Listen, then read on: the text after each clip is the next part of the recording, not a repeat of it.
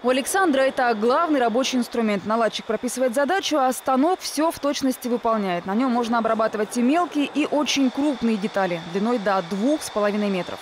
В данный момент как раз таки происходит наладка для обработки одной из деталей для сборки, которая называется якорь гидравлический, таки, который используется на скважине. В итоге получается такое изделие. Якорь гидравлический будет фиксировать в нефтяной скважине различное оборудование.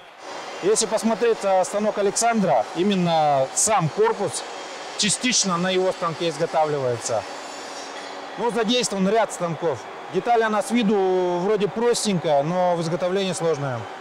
И это только одна деталь. Всего их здесь изготавливают больше 300 наименований для нефтегазовых компаний, машиностроения и сельского хозяйства. За два года объемы производства увеличили в пять раз. Станков со временем становится все больше. Нужны люди, чтобы ими управлять.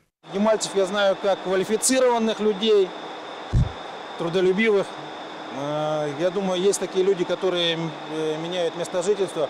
Были бы рады видеть в числе наших сотрудников в будущем. Только в прошлом году здесь изготовили больше 120 тысяч деталей. И большая часть из них уже приносит пользу на Ямале. Марина Осколкова, Клементий Горбунов. Время Ямала. Тюмень.